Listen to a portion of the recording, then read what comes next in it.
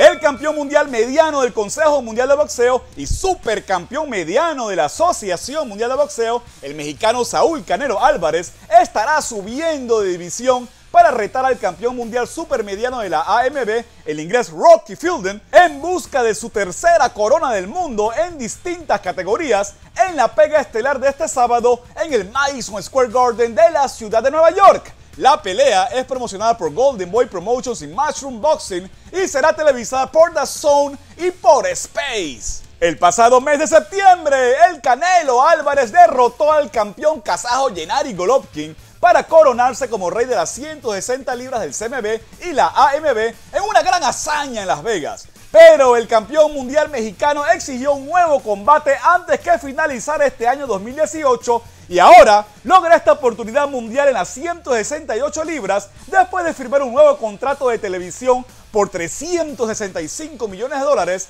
con la aplicación DAZN. Aunque la enorme calidad del mexicano lo coloca como favorito en las gabelas, Canelo Álvarez tendrá que superar enormes desventajas de alcance y estatura ante un fuerte campeón en la figura de Rocky Fielden. El Canelo Álvarez llega a este mundial después de solo perder una sola vez en su carrera ante Floyd Mayweather Jr. y después de vencer a 52 rivales despachando a 34 por nocaut. El campeón mundial inglés Rocky Fielden declaró que no es estúpido y que reconoce que el Canelo Álvarez es el amplio favorito para ganar esta pelea por su mundial supermediano de la AMB. Pero Rocky Fielden asegura que sacará todo su poderío y que aprovechará sus grandes ventajas de tamaño y de alcance para presionar y empujar al ídolo mexicano a su límite. De ganar esta pelea este sábado en el mítico Madison Square Garden de la ciudad de Nueva York, el Canelo Álvarez sumará su legado al convertirse en campeón mundial en tres pesos diferentes, super welter,